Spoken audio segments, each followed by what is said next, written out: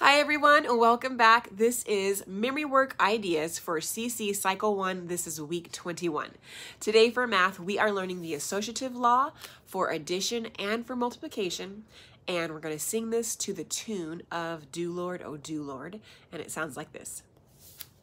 The associative law for addition states, open parenthesis, a plus b, close parenthesis, plus c equals a plus open parenthesis, b plus c, close parenthesis. So that's addition.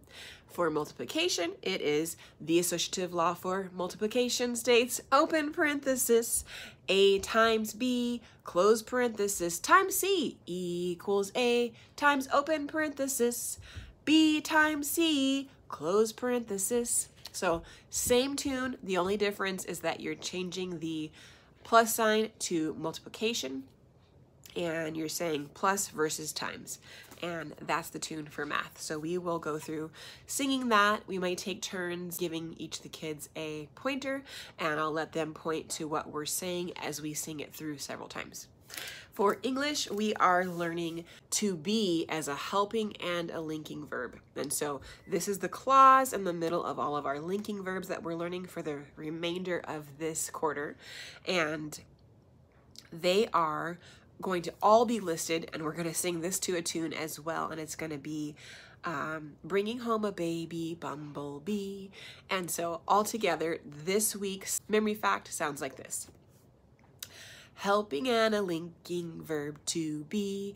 Am are is was were be being been. A helping and a linking verb to be. Am are is was were be being been. And that is all of them to the tune of Bringing Home a Baby Bumblebee.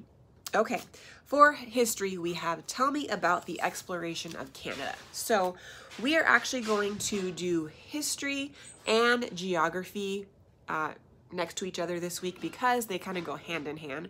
We are learning about Canadian waters, and history is talking about the Hudson Bay Company and involving some of the Canadian waters. So we're going to do those together. And so once we've gone through geography, we'll keep the map out that we use of our CC laminated maps.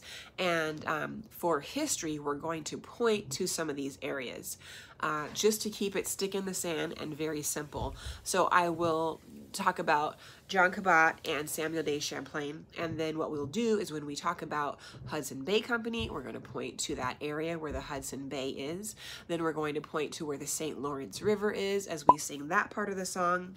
Um, Another option, if you don't want to be so stick in the sand, is there are some visual aids that are on CC Connected.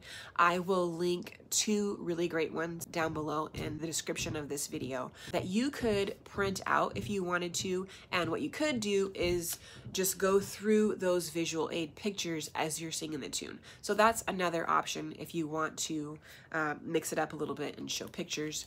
Of course, you could always do hand motions. And so as usual, I'll give you some hand motions as well. So J and C for John Cabot, and then Samuel de Champlain, just will do an S and another C. And then they explored Canada, the same sign for Canada that we've done in timeline B in the past. So this is just shaking your collar. So explored Canada and the St. Lawrence River. So you can do an L and move it like this, like it's going down a river, okay? Uh, the creation of the Hudson's, do an H, the Hudson's Bay Company in 1670. You can sign this, but the song is pretty fast, so you can kind of fill out what you feel comfortable with as you're singing it. 16, you can go like that, and then this is a 7. Um, so 16, you would shake that, and then this is the number 7 it's for 1670. You could do that. Uh, eventually led to war between Britain and France. France. So you would do the sign for war, and then the same sign for Britain and France, which is an F turned like that for France. And then the last part of that is the maple leaf is the symbol of Canada. So we would use our hands to make a maple leaf. The maple leaf uh, is the symbol of, again, Canada. So those are some hand motions that you could use. You can take some of those away if it's too fast and just use very specific ones, or you can do any of those other two previous ideas. Sorry if that's too much, but those are some things that are just floating around. We are, like I said, going to stick with the map and um, after we do that, we're going to combine that with geography because they're together. So we'll talk about through the song as we point through different locations on the map, or I point through at the head of the class different locations on the map. Okay, for Canadian waters geography, since we're already there, let's talk about that too. We are learning about the Great Bear Lake, the Great Slave Lake, the Hudson Bay. We're learning about the Labrador Sea and the Baffin Bay. And so what we're going to do is we're going to be putting letters into each of those sections with dry erase marker on the map as I introduce them. So for Great Bear Lake, we're going to draw a B over the Great Bear Lake as we point to it, and we're going to make a sound like a bear. Rawr. Uh, then for the Slave Lake, we're going to make an L, uh, an S there, sorry, an S, and we're going to make a sound like we're kind of uh, crying. okay? Um, that was my daughter's idea because that's what she thinks of for slave, for Slave Lake. For the Hudson Bay, we are going to put an H on there for Hudson Bay, and we're also talking about that in our in our uh, history song, so they'll know where that is. And then for Labrador Sea, we're going to put an L on the Labrador Sea and bark like a dog. And then last but not least, we have the Baffin Bay, and for the Baffin Bay, it kind of sounds like a bath. We take a bath in the Baffin Bay. Um, so for that, we're going to make the sound of running water and just go shh like we're taking a bath in the Baffin Bay. Um, so those are some ideas of what we're going to do for geography this week, just drawing the letters and making sounds as we um, cover each of those locations. The next thing we have on here is Latin, and for Latin, we are covering our fourth declension noun endings, and for that, we are going to take out our choir. Uh, I have these little finger puppets uh, like we did for this last session previously this year for the fourth declension noun endings. If you don't have finger puppets, it's it's no big deal.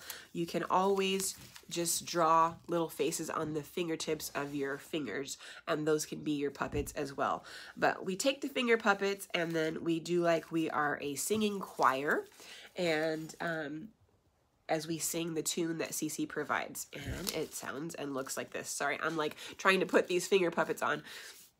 So uh, first we have one four-person choir because it's the fourth declension noun endings. So we have one four-person choir and they sing the singular of the fourth declension noun endings. So it's us, oos, ooey, um, ooh. Us, oos, ooey, um, ooh. Us, oos, ooey, um, ooh. Singular fourth declensions. Okay, so we have that. Then we would add four more for the plural, and you would have two four person or four finger choirs uh, doing the plural, because you have now more than one choir, of the fourth declension noun endings. And those are us um ibis us ibis us um ibis us ibis. And that is how we would cover Latin same as we did previously this year. For timeline we have World War same like we did last week World War two W's World War two. And President Franklin D. Roosevelt. For Franklin D. Roosevelt, we're going to do the common abbreviation that's used for him, FDR, and you just do F, D, and R. And then the next one is Stalin of the USSR and the Katyn Massacre. For that, we're going to make the shape of a big beard to represent Stalin of the USSR and the Katyn Massacre. We're going to do the sign for kill and many because that a massacre is a killing of many people. So you do that and then this for to show many people. And then we have the United Nations formed and for that we're going to do the sign for united. So just bring your fingers together just like that. The United Nations formed and then we have the cold. We're going to shiver like it's cold. The Cold War. The next one is Gandhi. We're going to make a G just like this. G, Gandhi, and India's independence. And for independence, we make our hands like this and we bring them out like we've been saved or freed. So independence, okay? Then we have the Jewish state established. For that, the sign for Jewish is to grab your chin like this, like you have are pulling on a man's beard. So Jewish state, you take an S and go down from the top to the bottom, just like uh, Babylon, but instead you're doing an S. So Jewish state established. And then we have Mao and the communist victory in China. And for that, we're going to do an M for Mao. And then the sign for communist is to hold your hand up like this. And China is the same sign that we've done for China in the past. That is all of timeline for this week. For science, we are learning the five circles of latitude. And so it helps if you have any type of globe that you could bring in, whether it's a standing globe from home or uh, this one I got at the dollar store. They have these that you can blow up or even those little mini squishy balls at the dollar store too. They all show these particular lines of latitude that we're going to be talking about today. And so we'll bring this in and kind of show what we're talking about when we when I introduce it. So we're going to start with the Arctic Circle, then we have the Tropic of Cancer, then below that we have the equator, then we have the Tropic of Capricorn, and then down below we have the Antarctic Circle and we'll probably take turns pointing to each of these lines of latitude and we will do that to the tune as we sing the tune of He's Got the Whole World. So it sounds like this.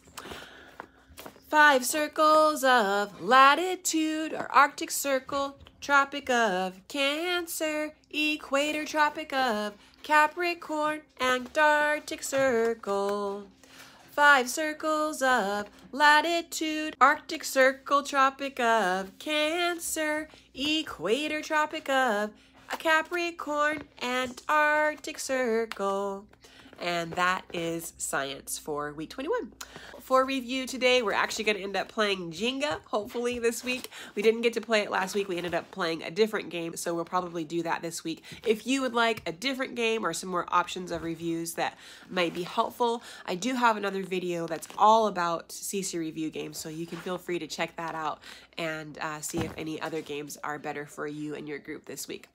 Uh, but other than that, I hope that this is somewhat helpful, and I look forward to seeing you all next week for week 22. Bye.